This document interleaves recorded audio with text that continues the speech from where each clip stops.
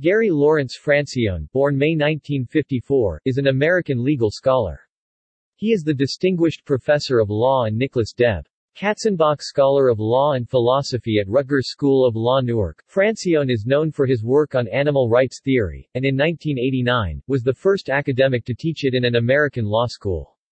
His work has focused on three issues, the property status of animals, the differences between animal rights and animal welfare, and a theory of animal rights based on sentience alone, rather than on any other cognitive characteristics. He is a pioneer of the abolitionist theory of animal rights, arguing that animal welfare regulation is theoretically and practically unsound, serving only to prolong the status of animals as property by making the public feel comfortable about using them.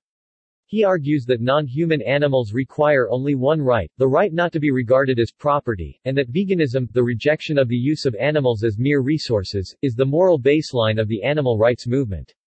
He rejects all forms of violence, arguing that the animal rights movement is the logical progression of the peace movement, seeking to take it one step further by ending conflict between human and non-human animals, and by treating animals as ends in themselves. Francione is the author or co-author of several books about animal rights, including Animals, Property, and the Law 1995, Rain Without Thunder, The Ideology of the Animal Rights Movement 1996, Animals as Persons 2008, and The Animal Rights Debate, Abolition or Regulation Regulation, 2010, with Robert Garner. He has also written papers on copyright, patent law, and law and science. Background Francione graduated with a BA in philosophy from the University of Rochester, where he was awarded the Phi Beta Kappa O'Hearn Scholarship, allowing him to pursue graduate study in philosophy in the UK. He received his MA in philosophy and his JD from the University of Virginia, where he was articles editor of the Virginia Law Review. After graduation, he clerked for Judge Albert Tate Jr., U.S. Court of Appeals for the Fifth Circuit, and for Justice Sandra Day O'Connor of the U.S. Supreme Court. After practicing law at the New York firm Cravath, Swaine and Moore, he joined the faculty at the University of Pennsylvania Law School in 1984, and received tenure in 1987. He began to teach animal rights theory as part of his course in jurisprudence in 1985. In 1989, he joined the Rutgers faculty, and in 1990, he and his colleague Anna E. Charlton started the Rutgers Animal Rights Law Project, in which law students were awarded academic credit for working on actual cases involving animals. Francione and Charlton closed the clinic in 2000, but continue to teach courses in animal rights theory, animals and the law, and human rights and animal rights. Francione also teaches criminal law, criminal procedure, and legal philosophy. In 1989, Francione taught the first course in an American law school on animal rights and the law. Francione has been a professor at Rutgers since at least 1995, when the New York Times reported that the Rutgers Animal Rights Law Center, the only one in the U.S., was receiving 200 calls a week, and that Francione was losing well over half the lawsuits the clinic brings, as they were taking a strict abolitionist approach. Animal Rights Theory Property Status of Animals and Animals, Property, and the Law 1995, Francione argues that because animals are the property of humans, laws that supposedly require their humane treatment and prohibit the infliction of unnecessary harm do not provide a significant level of protection for animal interests. For the most part, these laws and regulations require only that animals receive that level of protection that is required for their use as human property. Animals only have value as commodities and their interests do not matter in any moral sense. As a result, despite having laws that supposedly protect them, Francione contends that we treat animals in ways that would be regarded as torture if humans were the ones being used. He argues that we could choose to provide some greater measure of protection to animals even if they were to remain our property, but only up till the point where it becomes too costly for us to continue. Legal, social, and economic forces militate strongly against recognizing animal interests unless there is an economic benefit to humans. Comparison of animal rights and animal welfare in Rain Without Thunder, The Ideology of the Animal Rights Movement 1996, Francione argues that there are significant theoretical and practical differences between animal rights, which he maintains requires the abolition of animal exploitation, and animal welfare, which seeks to regulate exploitation to make it more humane. Francione contends that the theoretical difference between these two approaches is obvious. The abolitionist position is that we cannot justify our use of non-humans however humanely We treat animals, the regulationist position is that animal use is justifiable and that only issues of treatment are relevant.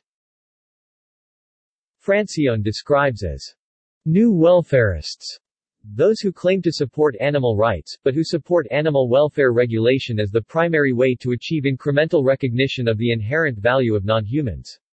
He argues that there is no factual support for this position because not only do regulations seldom if ever go beyond treating animals as economic commodities with only extrinsic value, but the perception that regulation has improved the humane treatment of animals may very well facilitate continued and increased exploitation by making the public feel more comfortable about its consumption of animal products.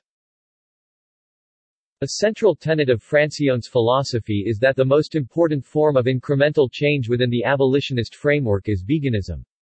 Francione has also long argued that the animal rights movement is the logical extension of the peace movement and should embrace a nonviolent approach. He maintains that an abolitionist vegan movement is truly radical and that violence is reactionary. Relevance of sentience in his introduction to Animal Rights, Your Child or the Dog, 2000, Francione argues that a theory of abolition should not require that animals have any cognitive characteristic beyond sentience to be full members of the moral community, entitled to the basic, pre-legal right not to be the property of humans. He rejects the position that animals have to have human-like cognitive characteristics, such as reflective self-awareness, language ability, or preference autonomy in order to have the right not to be used by humans as resources. Francione derives this right from the principle of equal consideration in that he maintains that if animals are property, their interests can never receive equal consideration.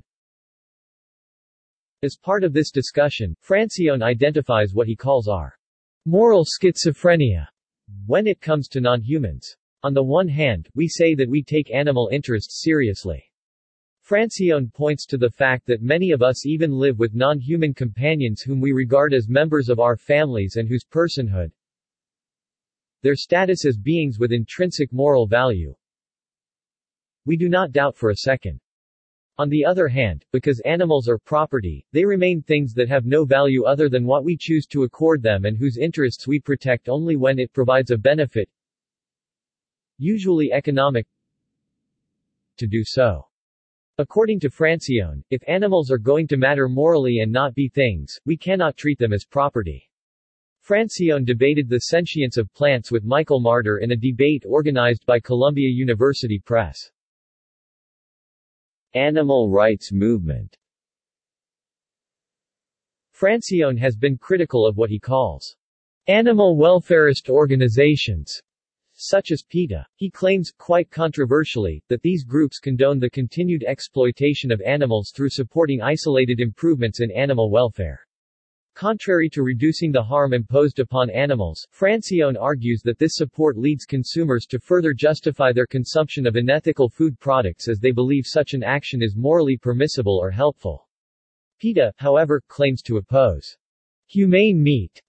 Francione S response is that PETA does not reject happy exploitation. In 2008, Francione opposed California S. Proposition 2, which was a ballot proposition to prohibit the confinement of certain farm animals in a manner that does not allow them to turn around freely, lie down, stand up, and fully extend their limbs. Francione's theory of animal rights, particularly his views on animal welfare, is criticized by some sections of the animal protection movement, who argue that animal welfare does provide meaningful protection for animal interests. Moreover, many within the animal protection community maintain that certain animals, such as the great apes or dolphins, ought to receive greater protection based on their higher cognitive capacities. Francione opposes this view, which he calls the similar minds position, on the grounds that sentience is the only characteristic required for personhood. As he writes, the exploitation of the non-human great apes is immoral for the same reason that is immoral to exploit the hundreds of millions of mice and rats who are routinely exploited in laboratories or the billions of non-humans who we kill and eat. Francione opposes violence in animal rights. He has been criticized for this stance by Steven Best, who refers to those in the movement who reject violence as franchams and supports the more permissive attitude to violence of groups such as negotiation is over. Bibliography Animal Rights, The Abolitionist Approach. Co-authored with Anna E. Charlton, Exempla Press, 2015.